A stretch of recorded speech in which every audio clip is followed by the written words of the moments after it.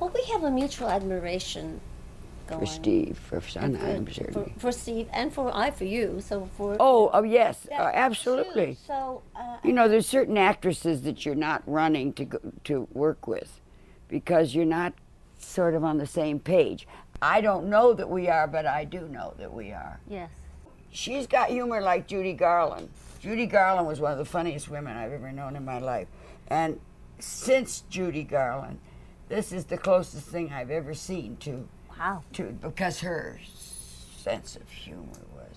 You remember that story I told in um, the night that I stayed up all night with Judy Garland, knocking him back, you know, and having the time of our lives. And I think it was a quarter to eight in the morning, and Judy got up, up the floor in that Oh, dress of hers with the slit up the side, the orange something, I don't know what it could.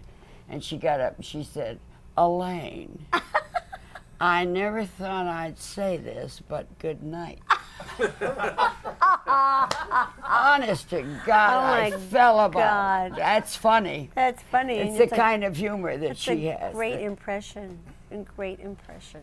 When we were rehearsing the other day and we got to the end, of the play? yeah, Yeah. I just started to cry.